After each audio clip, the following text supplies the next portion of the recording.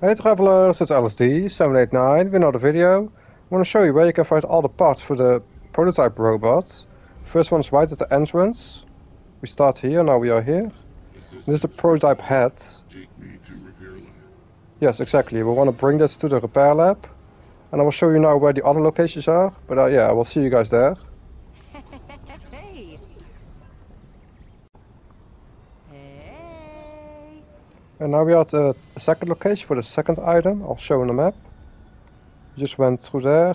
Use one of the airlifts to go down here. And this way we are. Okay. You see what the spider webs here. Need to kill this enemy. No, we don't have to, but we can.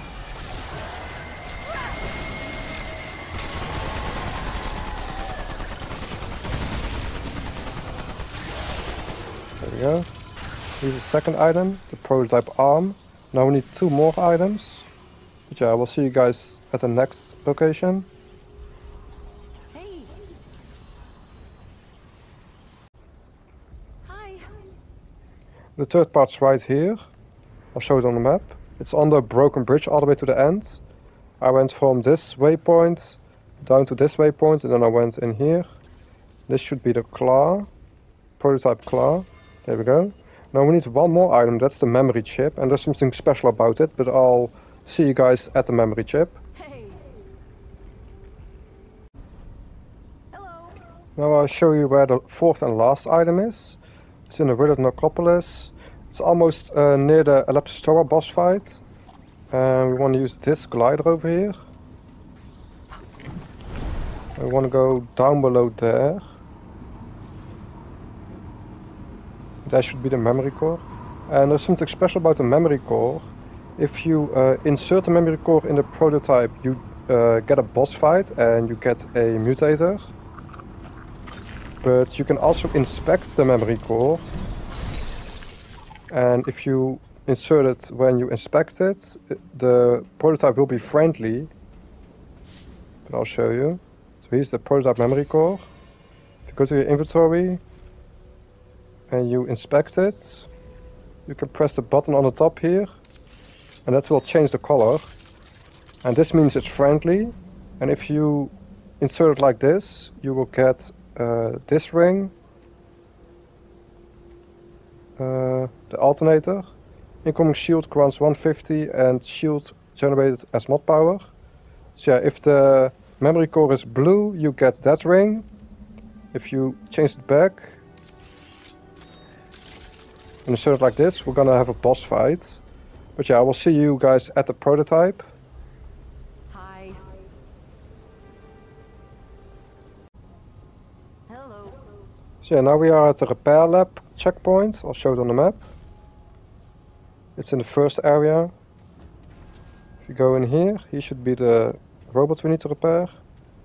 Like I said, depending on what color you put the memory core, you're gonna have a fight or you're gonna have a friendly robot. I already, I already did a friendly uh, solution, so now I'm gonna fight him. Attach the prototype, prototype head. Analyzing. Analyzing. Status report generated. Restoration incomplete. Additional parts and maintenance required. Scanning surroundings. Oh. Scan complete.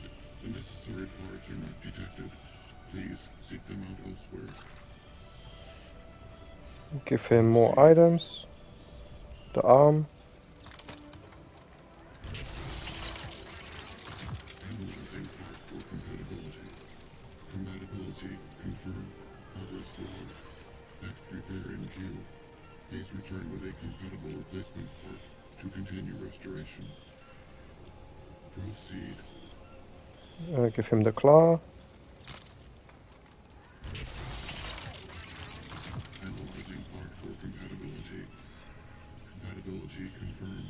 Progress log. Next repair in queue. Please return with a compatible replacement part to continue restoration.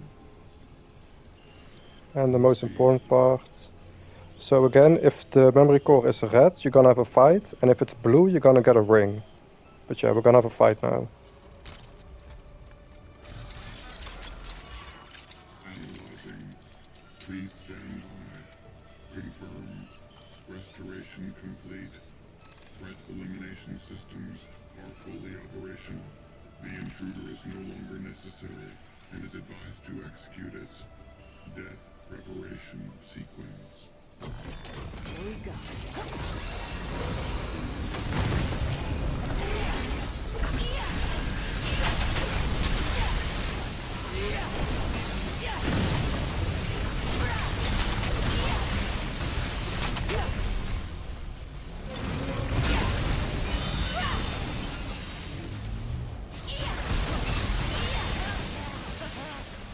Shield alternator ring.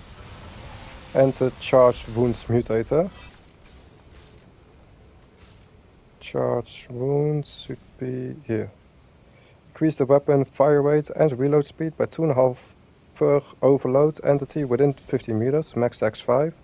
This weapon range weak spot and range crit chance applies overload, dealing 120 shock damage over 10 seconds. Yeah, this one's really good to uh, apply shock. We also got the alternator ring. Here it is. Activating a mod uh, that costs 100 mod power or greater generates a shield for 23 of the max health and it lasts 15 seconds and cannot stack with itself. So yeah, you get this by fighting him and if you are friendly with him, you're gonna get this ring, incoming shields. So together these are really good. So yeah, I hope uh, this video helped you. If you have any questions, write them in the comments. And yeah, EllisDee 789 Hey! out.